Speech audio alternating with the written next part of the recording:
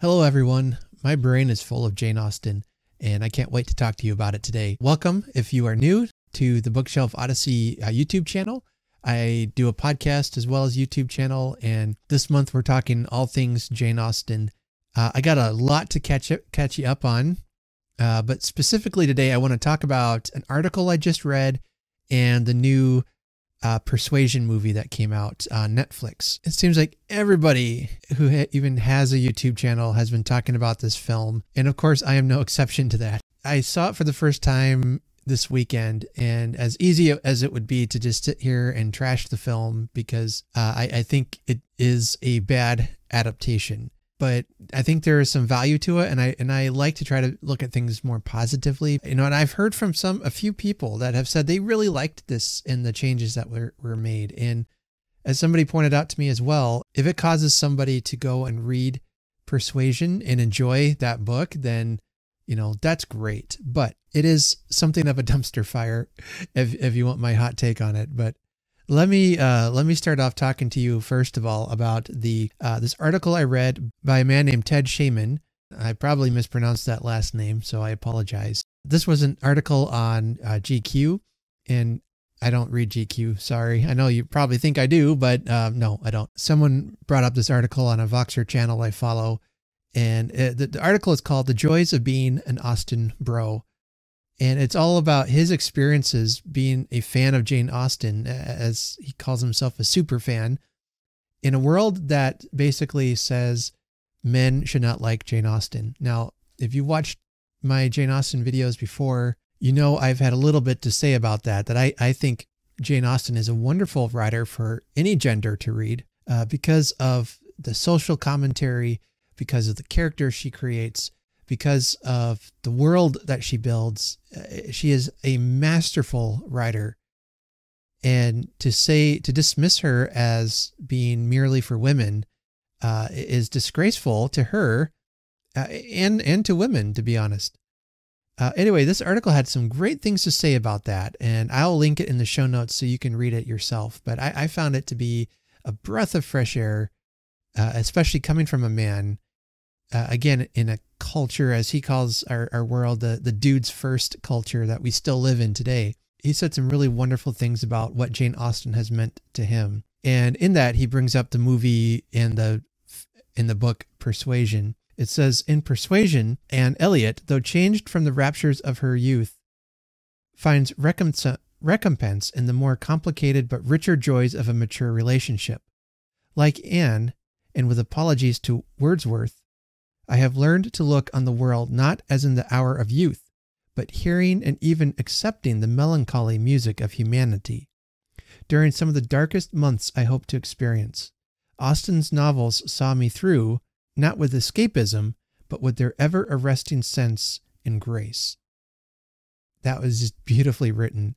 And it's so true. And then he, he goes on to say that uh, as he concludes his article, he says, one can partake of, of Jane Austen, whether one is a Scotch baronet of the 1810s, an elderly Londoner of the 1920s, or a millennial or zoomer who discovers that this retiring country novelist from two centuries ago offers such acute and such endearingly relevant observations on life in what remains a dude's first culture.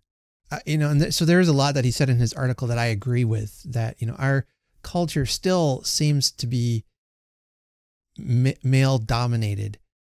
And I think his point here is that we need to listen to this woman who is writing from a male dominated culture to in some ways is still relevant to our culture today uh, and because some things have changed for the better yes but there are still there's still a long way to go to see real change so that brings me to this persuasion adaptation uh, done by Netflix.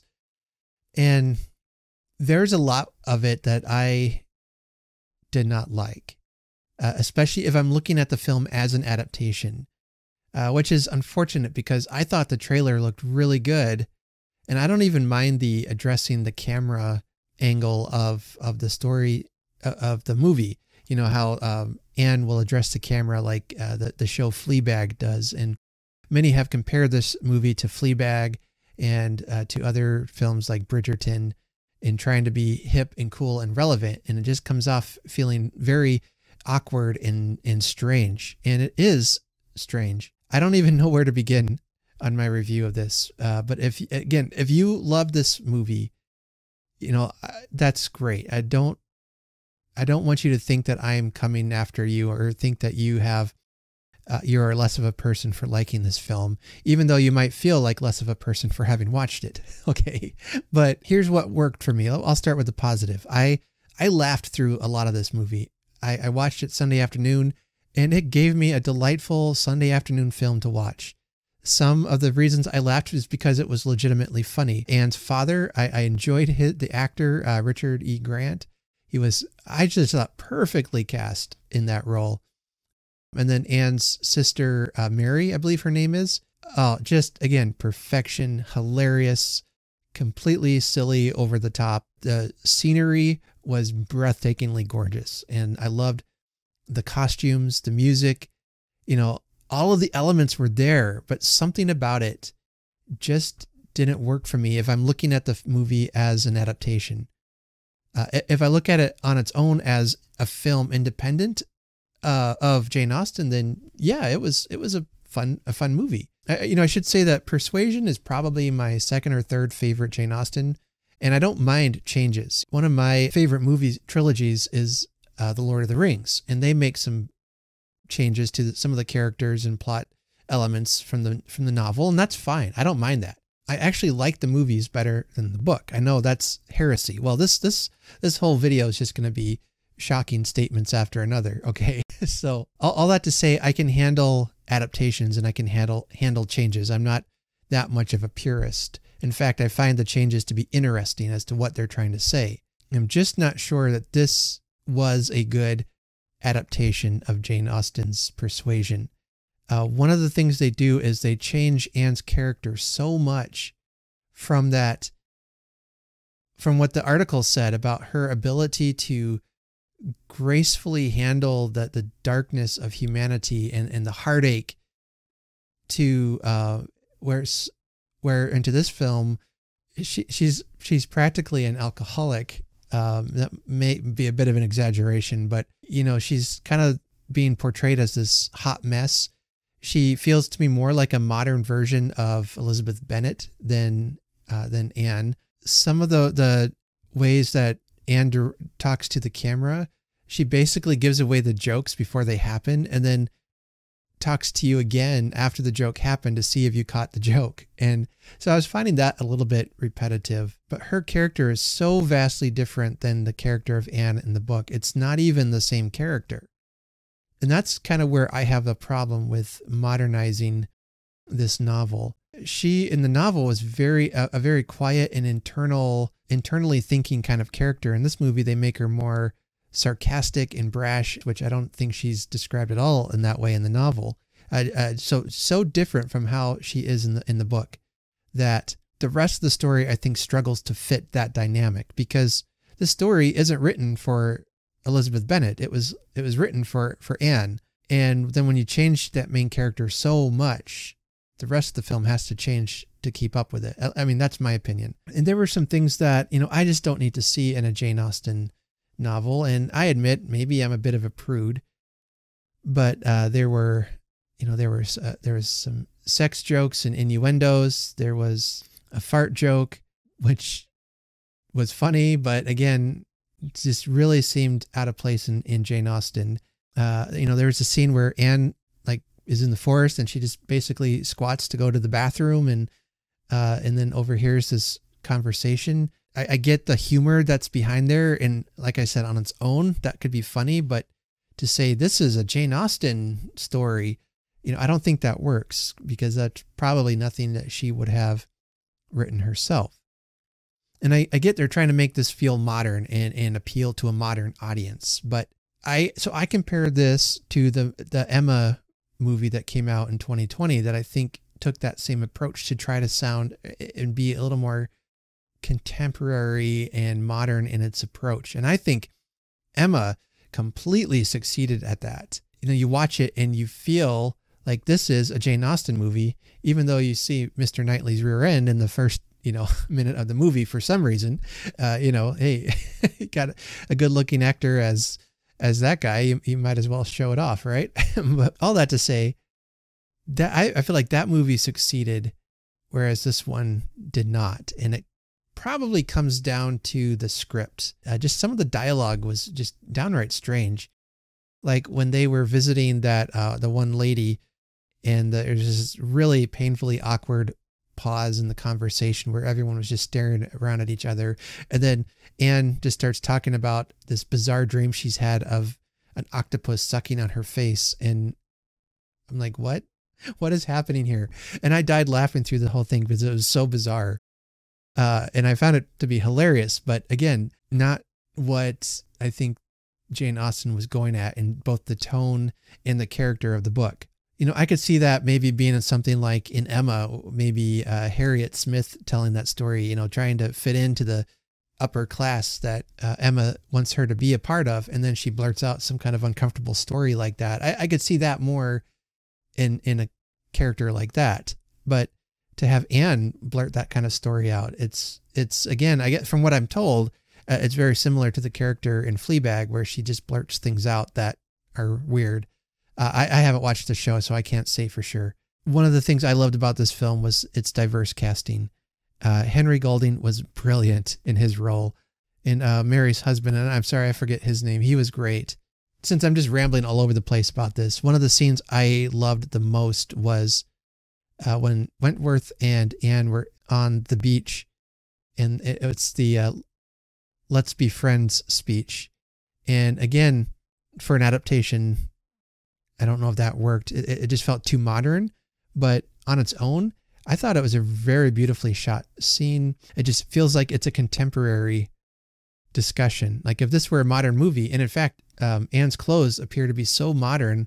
For a while, I forgot that this was actually set in, you know, 1805 or whatever. Anyway, this movie it feels like they tried to stay, uh, you know, stay true to the original story, and let's get really modern, and then they just kind of squished it together and took bits from both. It was like if somebody took, you know, an old film of Emma and took Clueless and then tried to mash it together into one thing. And what is created is some kind of a monster, you know. All in all, I'm not sad I watched it. Is this a good movie or not?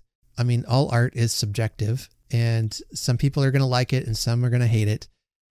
Uh, I will probably not watch this version again. You know, I, it wasn't what I look for in a Jane Austen film, and that's all right. I guess I come to the conclusion that um, this movie is just not for me. I'm not the intended audience for it. Uh, let me know your thoughts, and as always, please be kind to those who might disagree with you. I, I don't want to get out my mean face here, okay? All that to say, you know, I, I laughed, and at the end of the day, it provided me with a couple hours of, of entertainment. But when you're when you're as a genius as a writer as Jane Austen is, you know, stick with what works. And all that to say, I feel like we've got some good adaptations of, of Persuasion and, in fact, of many of her novels.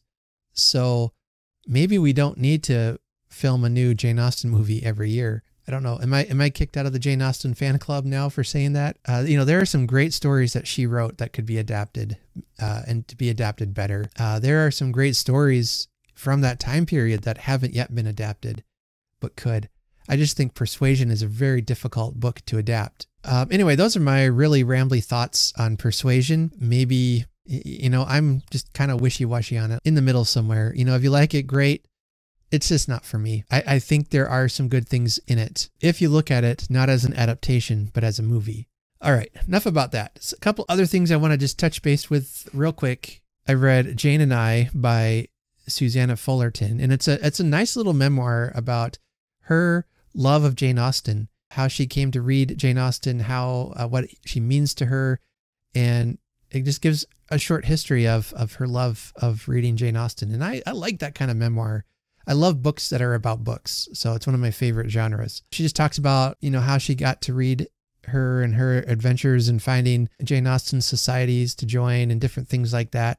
One of the things I really appreciated about this book is she has a chapter that she gives recommendations for uh, 10 biographies as well as 10 books of literary criticism about Jane Austen. And I was very, and, and I was really interested to read those. So I've added those books to my uh, TBR list that is wildly out of control and I uh, hope to read them over the next few years. Uh, I, I'm really wanting to dig a little deeper into Jane Austen and and uh, learn more about her.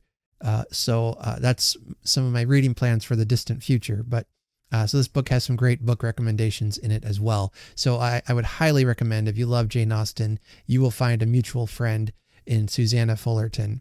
And then another one I read, uh, and that was Frances Burney's Evelina. And this says about it, the story follows young Evelina as she leaves the seclusion of her country home and enters into late 18th century London society, both its pleasures and its dangers. Life in 18th century England is vividly rendered as Evelina is educated in the world in the ways of the world and eventually love as she battles such cruelties as social snobbery and delights in such thrills as pleasure gardens and balls Evelina strives toward her final triumph while capturing the hearts of readers everywhere along the way. Just briefly about the book, I really loved it. Um, I want to read more by her. Uh, it, it really felt like Jane Austen, very similar writing style, I think. In her, the main character Evelina was was charming and witty, and you know you're rooting for her through the whole through her whole journey. I did have a little bit of trouble keeping straight some of the characters. This book is a bit longer than your typical Jane Austen novel is, and it just reminds me of how well Austen does characters, and that I, have usually do not have trouble keeping um, Austen characters straight. They're so iconic. So that uh, wraps up my uh, last week or so of reading. And I've got a few more things I'm reading right now. I'm, I'm doing the uh, Lady Susan read along, and uh, this is a reread for it. I really struggled with it the first time. And I got to be honest, I'm struggling with it again this time, but I'm going to uh, persevere through it and see if I can get it to make more sense to me this time around. All right, let me know what you've been reading this week and for this month. Uh, I'd love to hear what you what your thoughts are on uh, the new Persuasion movie. Do you have a favorite version? And uh, let me know and why. And we'll keep the discussion going in the comments below. So until next time, happy reading and take care.